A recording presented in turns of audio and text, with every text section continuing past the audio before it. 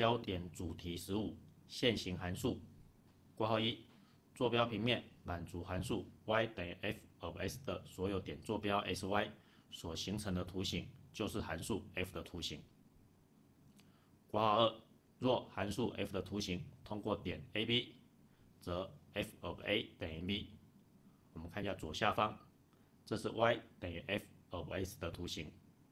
当 s 等于 a 的时候，其对应的函数值是 f of a，而这个函数图形又通过点 A B，所以 f of a 等于 b。接着我们来看括号三，形如 y 等于 b 或 f of s 等于 b 的函数，我们称为常数函数，它的图形是一条水平直线。我们来看一下这里，这里所代表的意思就是说，无论 s 的值是多少，其对应的函数值都是 b，这就是常数函数，也就是一条水平直线。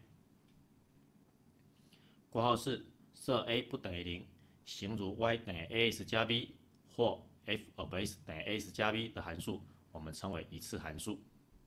图形呢是一条斜直线。当 a 大于零的时候，图形由左往右上升，当 a 小于零的时候，图形由左往右下降。我们来看这里，当 a 大于零的时候，y 等于 x 加 b 是一个由左往右上升的图形；当 a 小于零的时候，y 等于 x 加 b 的图形是由左往右下降的一个图形。老师讲解十五，若 y 等于 f。of s 的函数图形是以通过一一二三两点的直线，是求 f of 负一。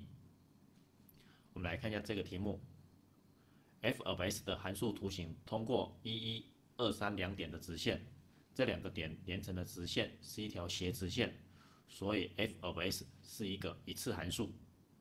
我们用这个方式来做假设，设 f of s 等于 a_s 加 b。因为 f of s 通过一一二三两个点，所以 f of 一等于一，f of 二等于三。由 f of 一等于一，我把这个一代入 a_s 加 b，得到 a 加 b 等于一。我们把这个当做第一个式子。由 f of 二等于三，我们把这里的二代入 a_s 加 b，得到二 a 加 b 等于三。这个式子当做第二个式子，我们把这两个式子相减，第二个式子减掉第一个式子，得到 a 等于二。a 等于二，我们把它代入第一个式子，得到二加 b 等于一，因此 b 等于负一。由 a 等于二，b 等于负一，我们可以得到这个函数 f of s 等于二 s 减一。而这个题目呢，要求的是 f of 负一。这个负一呢，我们代入二 s 减一，所以得到二乘以负一减一等于负三。